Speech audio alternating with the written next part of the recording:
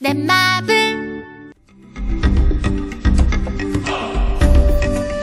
스톤 에이지 오늘 소개해드릴 pet은 듀라크입니다.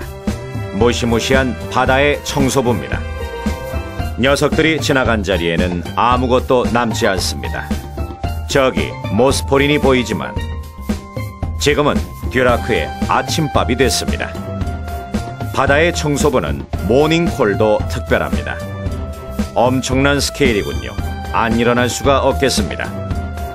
잠에서 깨운 이유는 저런 듀라크의 아침밥이었군요.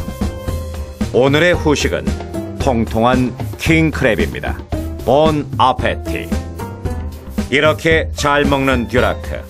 체중 관리는 어떻게 하는지 궁금합니다. 스톤 에이지.